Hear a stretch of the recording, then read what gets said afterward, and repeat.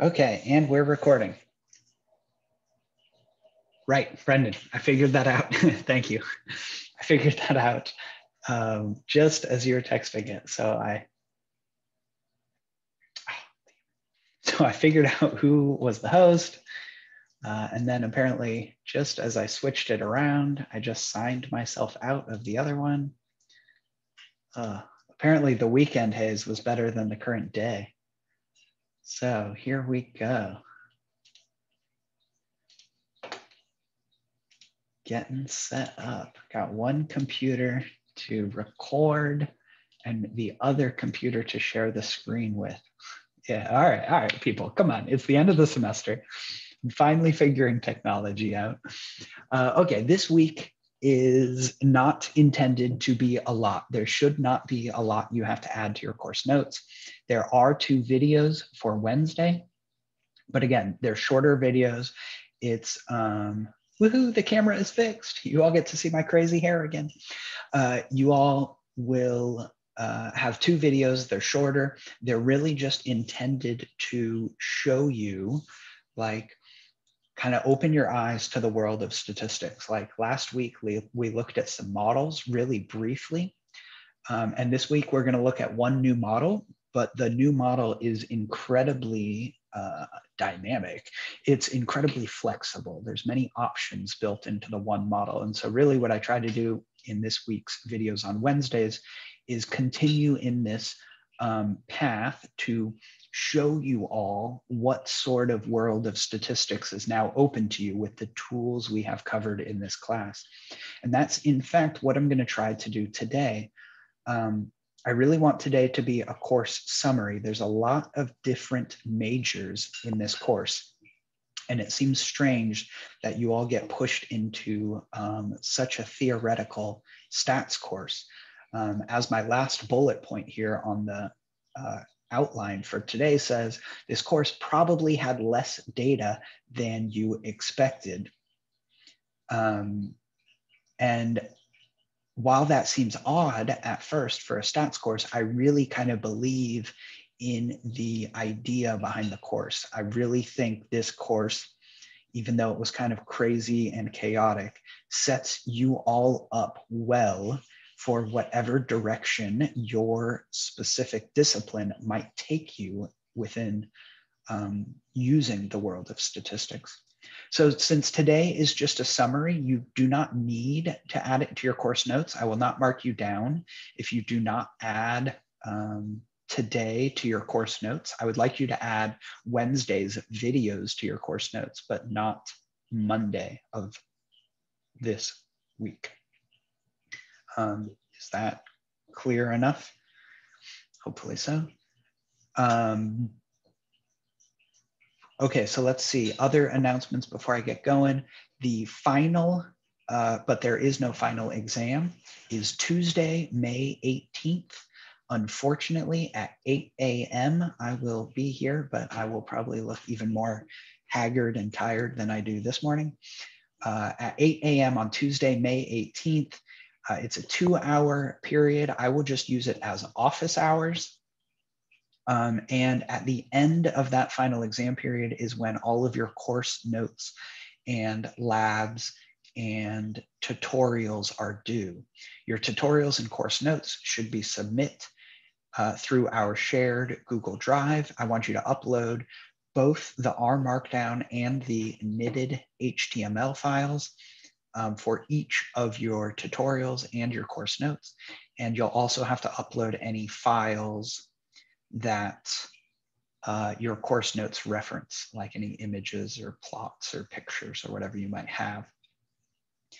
Um, I'm gonna let you all uh, email me this week to see that everything has uploaded correctly. But I am probably not going to have time to give you um, as full of feedback as I have previously, just because the same for you guys is the same for faculty as the semester draws to a close.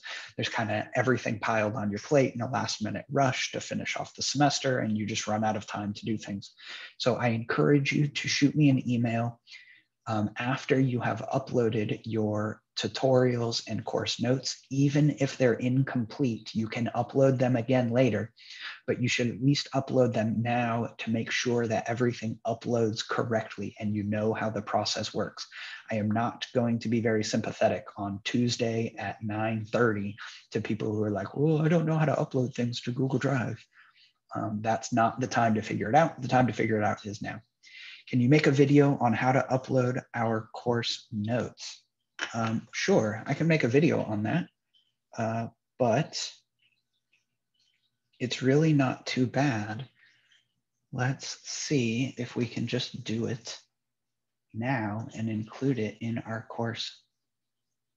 Uh, okay, no, you know what? I have a bunch of emails from students and the only way I can get to those folders is through my email and I don't want that recorded because they're, you know, private emails from students. So uh, Jake, sure. Uh, sometime later today, as I post all the videos, I will create a like one minute video that shows you how to upload your course notes. But it should literally be click on the link I sent you to your um, email from my at mail.csuchico.edu account. Uh, and once that link opens, you should literally just drag the files to that browser tab and everything should work. Um, are there any other questions before I get going on a hopefully shorter than normal day where I'm just trying to wrap up the semester? Are there any questions before I get going?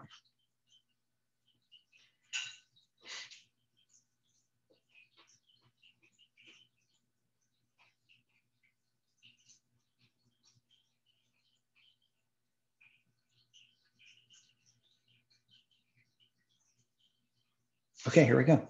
Course summary. This course was crazy, right? It's um, it's a crazy new world of statistics that studies functions in a way you all probably have never really looked at functions before because these functions uh, start beginning to describe things you have not previously thought about or things you probably have not previously thought about. Some of us may have thought about these things before. But like even from the beginning of the class, we jump into distributions. And distributions are really just functions that describe a pattern with which data can show up. Okay, so let's just write that down.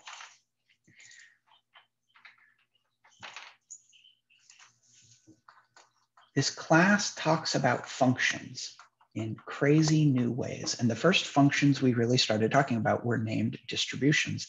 And distributions are functions which describe common patterns of data like some data can only take on integer values. Some data can only take on non-negative values. And then there's these crazy new distributions like the normal distribution that doesn't actually commonly describe data itself, but it turns out the normal distribution, even though it doesn't describe data itself, it describes functions of the data of like functions of data. So not only do we have functions that describe patterns of data, but then we have functions of data and we have functions to describe the patterns of the functions of data. This world, this world of statistics is just insane, but it turns out to be really cool. So we end up with things like the Bernoulli distribution, which only describes kind of one or zero data, binary data. We end up with binomial distributions, which is like an extension from the world of Bernoulli. We end up with gamma distributions, which is for data that can only take on non-negative values, often measuring time between events. And then somehow over here, connecting all of these distributions into one weird world is the normal distribution, which describes means from basically any distribution. So it's like you could have data from a Bernoulli distribution. And as long as you take your data and calculate a mean, that is some function of data. You add up all your data and divide by however many there are. Or if you have binomial data and you calculate a mean, or if you have gamma data and you calculate a mean, it doesn't matter really where the data come from, as long as all the data come from the same distribution, then that mean of your random variables will in fact be a new random variable. And the pattern that describes, uh, I mean, the distribution that describes the pattern of means is the normal distribution.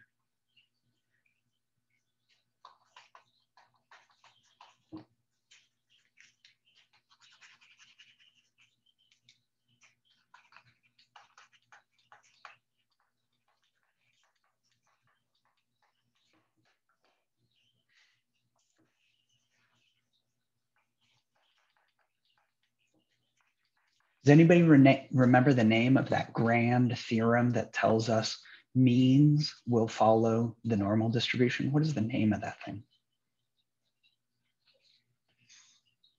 The central limit theorem. Nice, very good. Central limit theorem tells us that means themselves are going to follow a pattern, and that pattern is approximately normal. Okay, so this crazy world of statistics starts out with functions that describe patterns of data. And there's a lot of named patterns. And sometimes those named patterns, if you like group the data somehow, then the grouped data, the means themselves will follow new patterns. And it turns out that's like some of the most common uh, stuff we do with data is calculate means. And the reason we focus on means so much is because we know how the means themselves behave. We know the shape or the pattern of the means. There's not too many other functions of data that we know the shape or the pattern they follow. So we focus on means a lot. And focusing on means is actually incredibly helpful. Because distributions tend to have some properties associated with them. And the properties are often defined through expectations.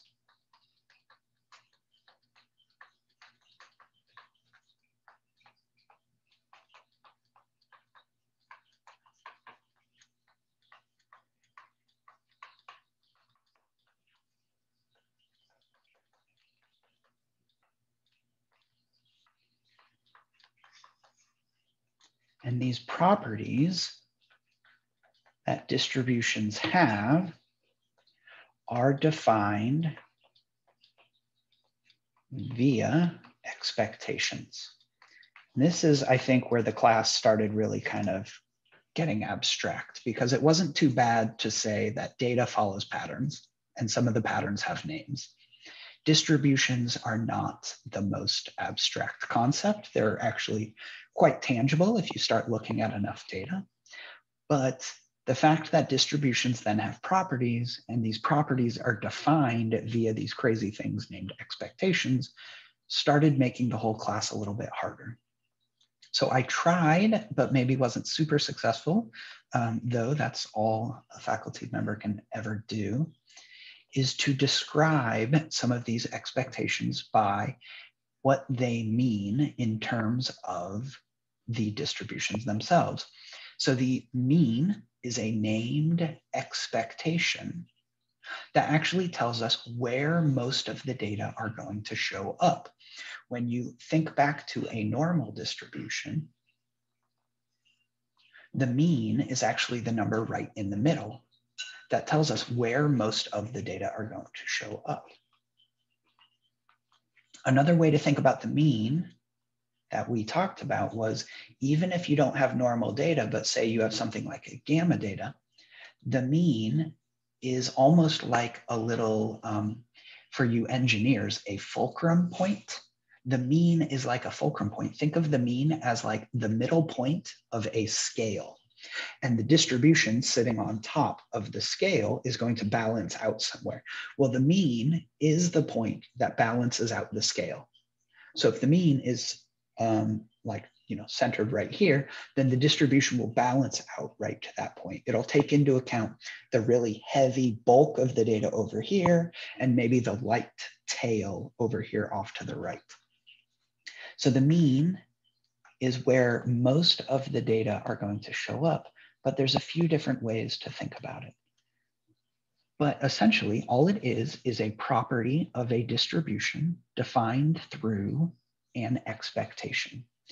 We had other things like variances.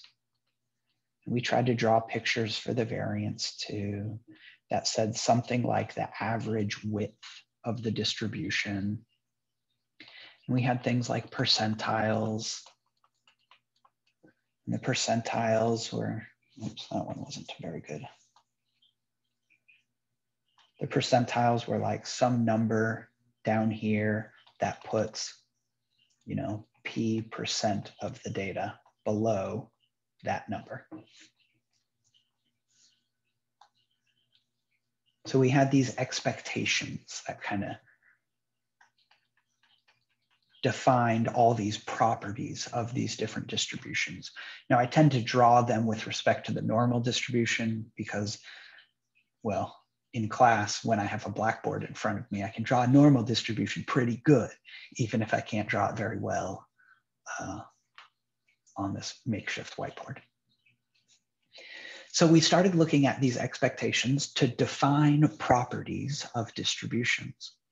But uh, that wasn't super clear where data fits into this picture. So I tried early on to tell us that there was a let me just make sure I got, yep. That there was this overarching goal of statistics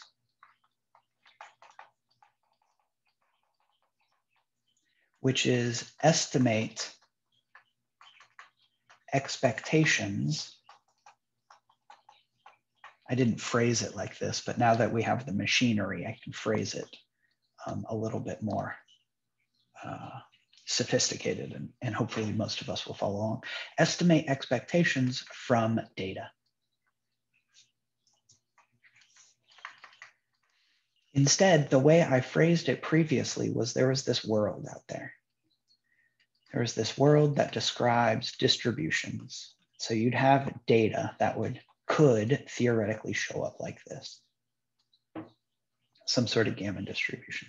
And you'd want to learn about the patterns, the expectations that describe these distributions. So what you would do was randomly sample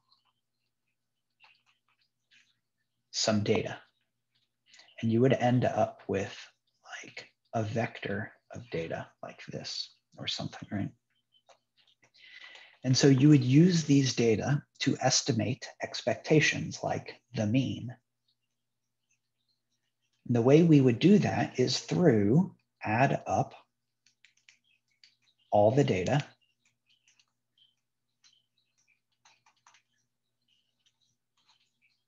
and divide by however many there are. The mean, which we wrote in R like this, actually converges to, as your sample size, this capital letter N goes off to infinity, the true expectation of the random variable that describes the distribution from which your data came.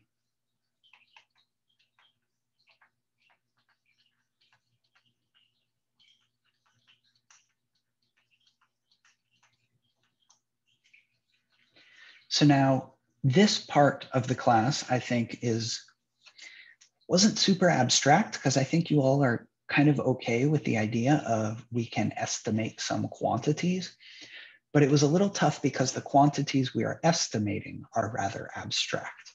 So I don't think you all are like, you know, particularly bothered by, you know, if you have 100 data points, then you're going to estimate something good. And if you have a million data points, you're going to estimate it great. There are certainly some questions about where is the defining line between good and great, but um, we talked about how that's a rather difficult concept to answer. But I think the hardest part about this was that these expectations are still a little abstract in our minds. But I think as long as we take away from this course that these expectations are properties of the distributions from which the data came, then we can really start wrapping our head around this broad world of statistics. And this is the point where I want to try to lead into the various majors that are enrolled in this semester's course right now. So, for a lot of us in the world of statistics, we're like forced into this class by whatever major it is we're taking. And for a little bit, I'm going to talk to the engineers. But if someone else uh, wants me to pay particular attention to their major, then I'm happy to do it. So for the engineers, I think you all are forced into this more theoretical course than a data heavy course. Now, remember uh, from early on in my slides, I said uh, this class probably had less data than you expected. I think the reason for that, for the engineers in particular, is two sides. One, you guys are pretty mathematical from the get go. So when we talk about many different functions in different contexts, we're not going to immediately lose um, basically anybody in this class. We won't immediately lose you, but we can bring the discussions to a new higher level than if this was a data centric stats class. The data centric stats classes rarely talk about what is actually being estimated, these expectations. So what I was trying to do in the class was give you a little bit of the data side. We looked at some data mostly made up in R so that you could get these understanding of these expectations both in a sense of they are characteristics of distributions themselves, but also in the sense of we see that data is literally estimating these expectations. But we were able to look at both sides of this because you engineers and anybody else in the class are generally um, not scared off of high level mathematics early on. But I think the second reason that engineers are pushed into this class instead of data centric stats classes is because at this point, we can really start expanding our understanding of what statistics is doing in the class. I know it doesn't seem super obvious, but I really believe that at this point in the class, we can really start expanding what side of statistics you all might end up in in the future. So let me give a more concrete example than this kind of um, uh, rambling with no like specific point. So when I draw this arrow from a distribution to the data side, and I suggest there is this idea of randomly sampling data. In the world of the statistics major, randomly sampling data is its own course. This part right here, just randomly sampling data, is its own entire course. There's a whole semester just devoted to this. It's called Math 458. I'm not saying you all have to go run off and take Math 458, but I'm suggesting, especially for the engineers, you might end up in a world where you need to understand more about the random sampling. And I'm really excited about this course because if you frame a course like Math 458 about random sampling in terms of the distributions then the class makes a whole lot more sense. So let me see if I can draw some more on my pictures here to give you an idea of why the random sampling class makes a whole lot more sense based on the topics we've learned so far in Math 350. So random sampling is all about discussions about how you can sample data from a distribution and obtain good estimates of the mean for the expectation. Now, what they often talk about is problems with sampling, like um, imagine the Amazon customer reviews for some product that you're interested in if you've ever paid really close attention to Amazon customer reviews about specific products, or really reviews about any products, When the reviews are voluntary, we suggest in the world of statistics that you're probably going to get very biased data. Now, biased data is hard to understand without a course like Math 350. But what it really means for Math 350 is you're probably going to get most of your data up here. And getting most of your data somewhere far away from the mean and far away from the bulk of the data is suggesting you're probably getting the refuse of people who feel very strongly about the product for not particularly good reasons. These are the people who would give, you know, negative 5 million stars to a product because as soon as they got it, it broke and they were really unhappy about that product breaking. You're often going to get the extreme viewpoints from voluntary reviews. You're often going to get extreme viewpoints from voluntary reviews of products. That's going to push you off into the tails. The tails of your data are going to suggest that your mean is not going to estimate an expectation very well. Because if all you have is data in the tails, then you're not getting adequate representation from the bulk of the distribution. And I think that's a discussion that's very hard to understand without a proper idea of distributions, which don't normally show up in other stats classes. Okay, so that was one uh, example of why I think this less data centric, more math heavy stats class is beneficial to basically any major in this class. But um, I tended to frame it as for the electrical engineers. I have one more example that I want to give kind of in this realm, but maybe I should like pause right now for a minute just to see if anybody's got any questions about my overview. I'm kind of wrapping the whole course up in like 15 minutes, and that can be hard to hard to handle since everything here is still so new. I'll do a forced water break.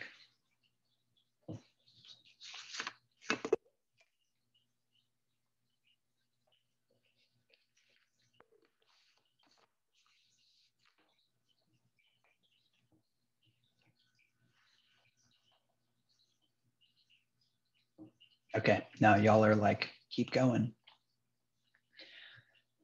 Okay, towards the end of this class, oh. Yeah, um, statistics is heavily used in communication systems. I don't have any personal experience with it, but I know a good deal about this. Now, the problem is it might not seem like the communication systems that you are thinking of. Chances are good you're thinking of like cell phones and you're thinking of like internet connections, or maybe even you're going to like walkie talkies or radios or something like this. But when statistics get involved in communication systems, it's actually quite a bit closer to problems like, now here's why you're not gonna like this answer.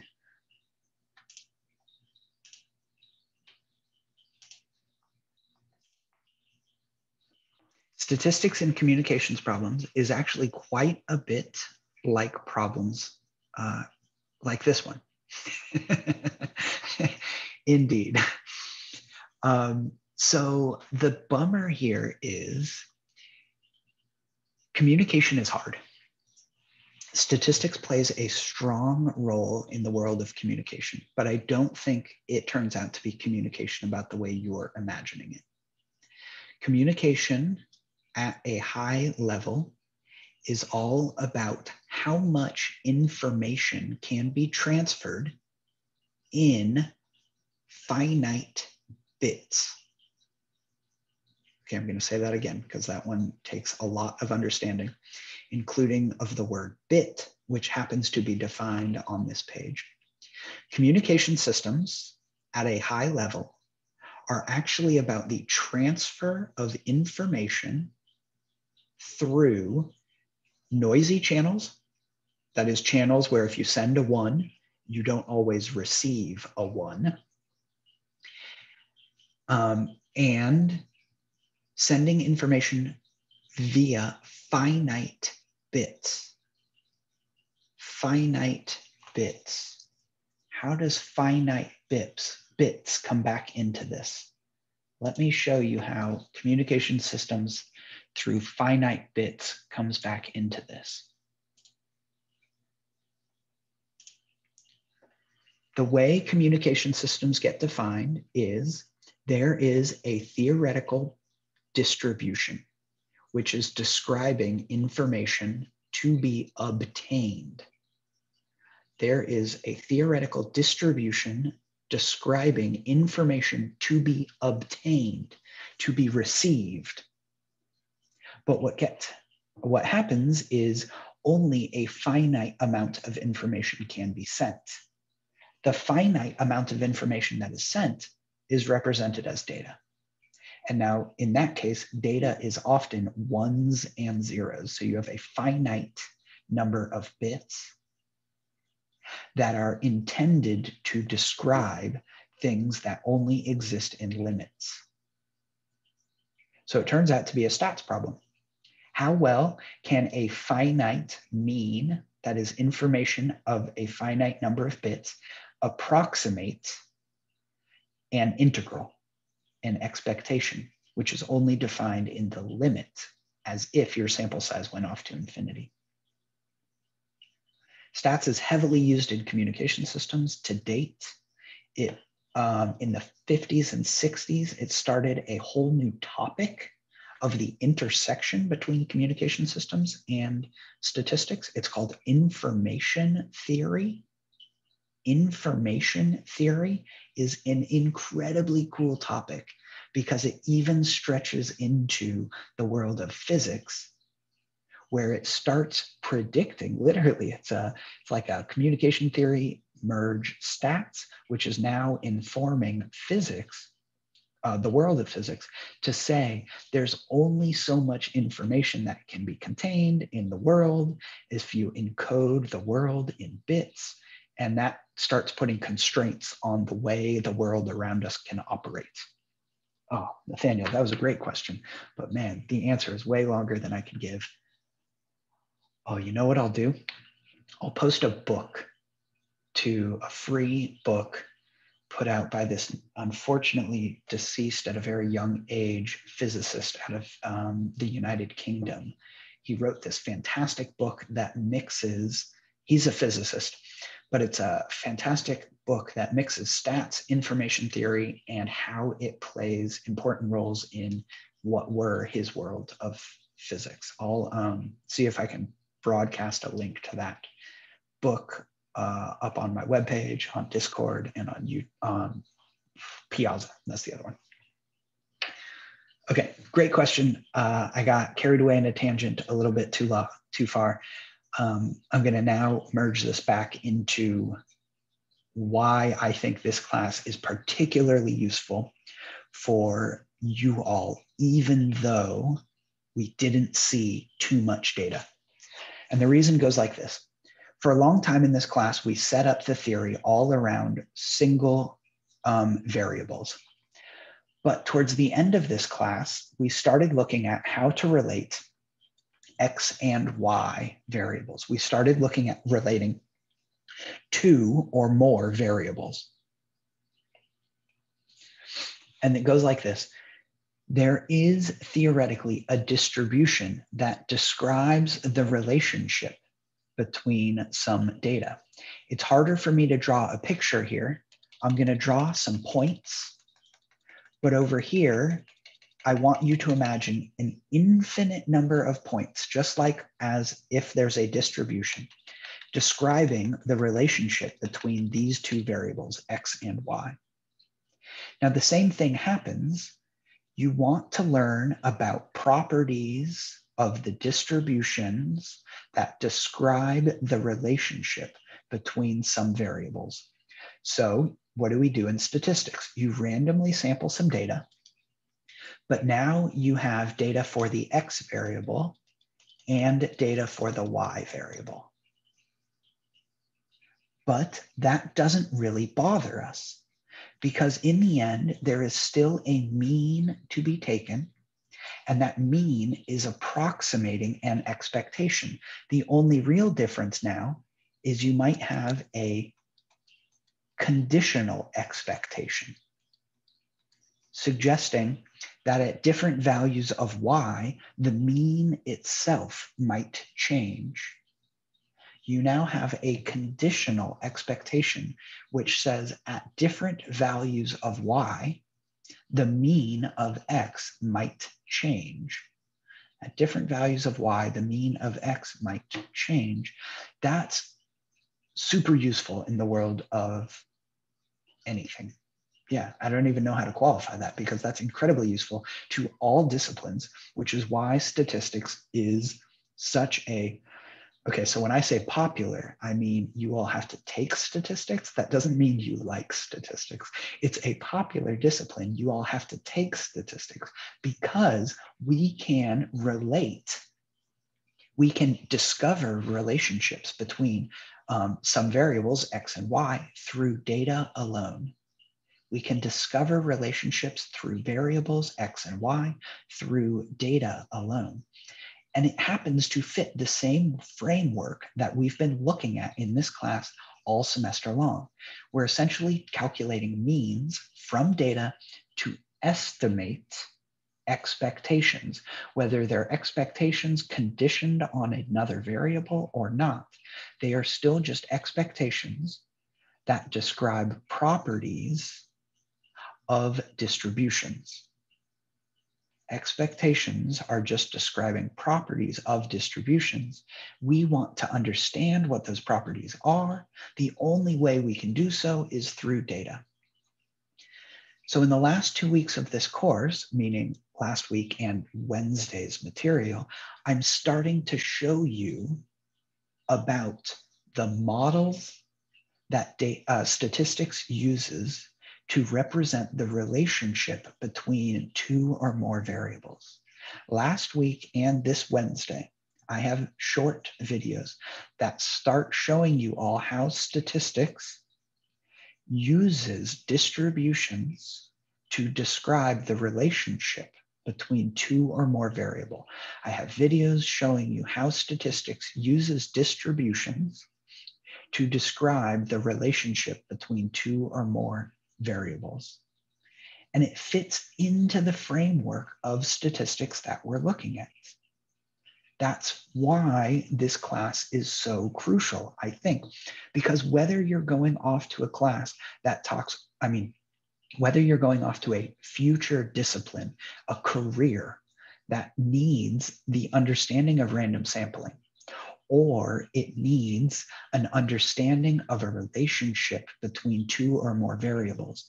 This class gives you the framework to understand how those relationships are showing up, or the framework to understand why biased data is really bad and will end up uh, telling you lies. If you've ever heard about stats telling lies, it's generally because people don't understand the distribution side of uh, statistics well enough.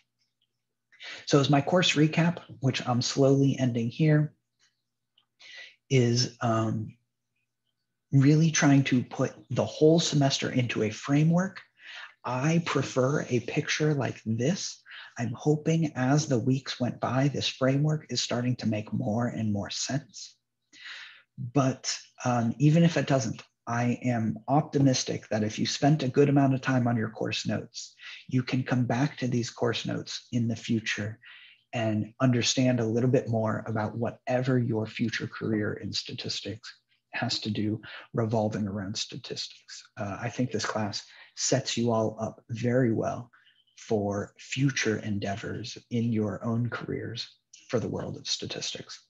The only thing, and this is going to be my last um, maybe two minute spiel here for the day, the only thing we haven't discussed, which is like there is yet more ahead of you,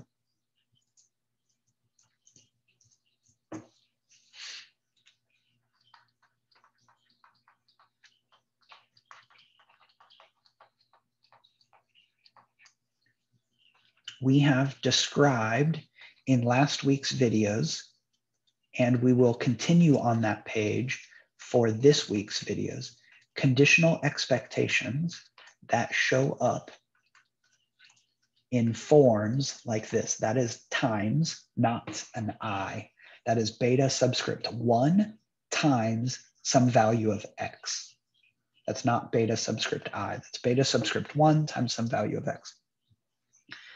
Topics not discussed in this class, which show up in um, second semesters like Math 351 or Math 450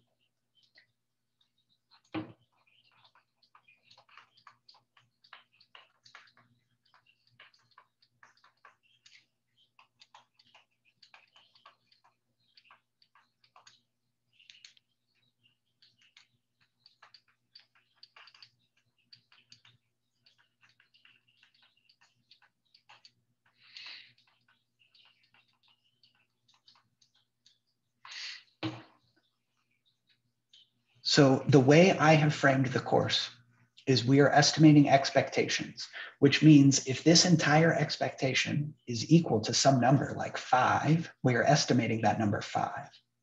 What I have not discussed is how to estimate the components of the conditional expectation itself. There is an incredible world of machinery built up in order to estimate the components of these conditional expectations themselves. And in fact, you'll see through the videos this week, we just use functions like the function LM built into R to estimate these components themselves. But classes like Math 351, Math 450, or um, entire PhDs are built around estimating these components themselves if you all are into this world of mathematical statistics, I highly encourage you to take Math 450 next semester. You've got to email Dr. Kathy Gray.